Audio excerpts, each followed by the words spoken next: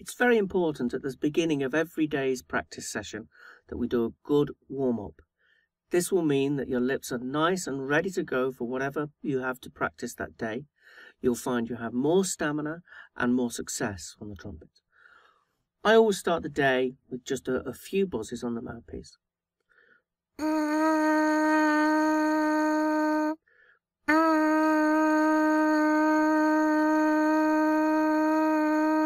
I might buzz for two or three minutes, buzz some high notes, buzz some low notes, just to get everything moving. Don't forget that the better your buzz, the better your tone will be on the trumpet, so it's worth practicing it every day. After you've done your buzzing exercises, we should move on to some long notes. But the long notes I want to do with you, we're going to do crescendos and diminuendos. That means we're going to be getting louder and then quieter again. As well as warming the lips up, this practices your breath control, which is a very important aspect of trumpet playing.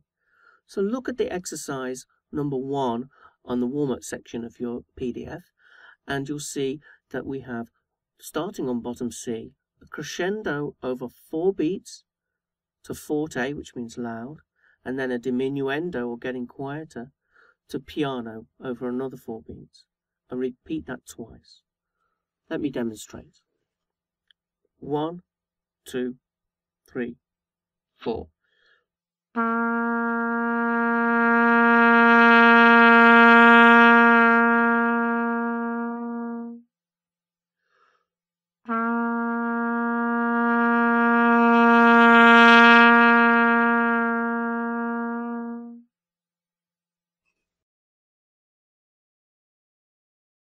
Make sure that you keep your embouchure very fixed during your crescendo and diminuendo. Particularly at the end, make sure as you go quieter that the tone and the pitch doesn't sag. Then carry on the exercise with D, then E, etc., etc., as you see written in the PDF. That should take you three or four minutes.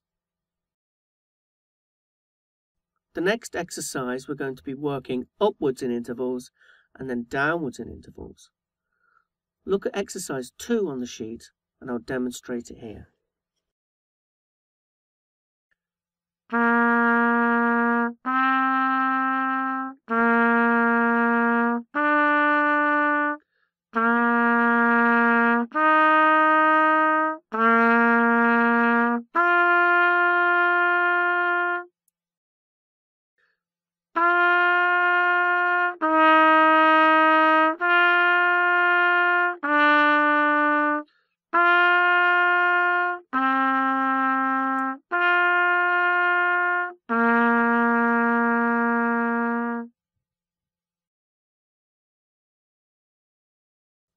The next exercise is what we call a lip slur.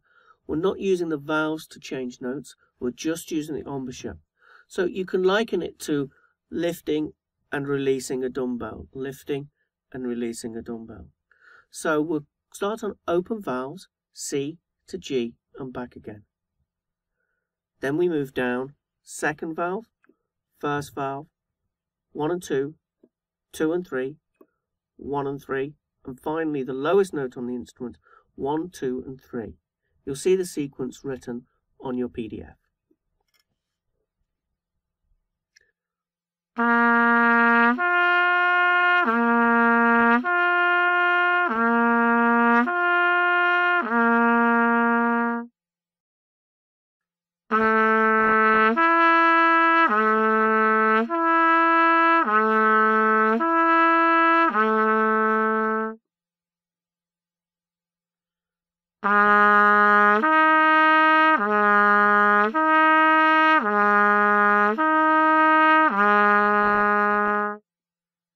Etc., etc.